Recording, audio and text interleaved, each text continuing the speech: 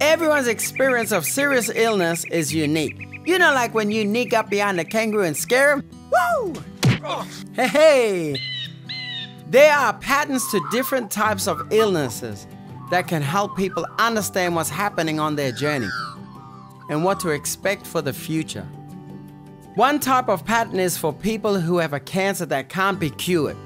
They usually feel okay and continue with their everyday life for a while. Once they start feeling proper sick, they usually go downhill, fast like a hawk on a mouse, and begin their end of life walkabout.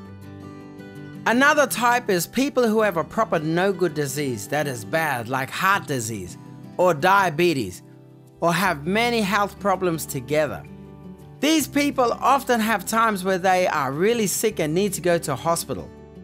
They recover a bit in between those times and might even come home, but their health doesn't quite go back to what it was before.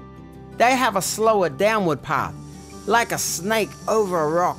Up and down the snake goes, and for these people, end of life can sometimes come unexpectedly, even when they look okay. Some of our old people are frail and might have dementia. You know dementia, right? Like when I say to my granny, Hey granny, it's me, Sean. And she says, Who? And I say, It's me, Sean, your grandson. You gotta keep dimensioning it over and over because they forget and usually get sicker and sicker slowly over time. This pattern is like a turtle on a big riverbank.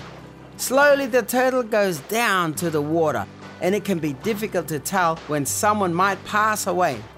They often need lots of personal care near end of life and maybe full-time care at home or in a healing place.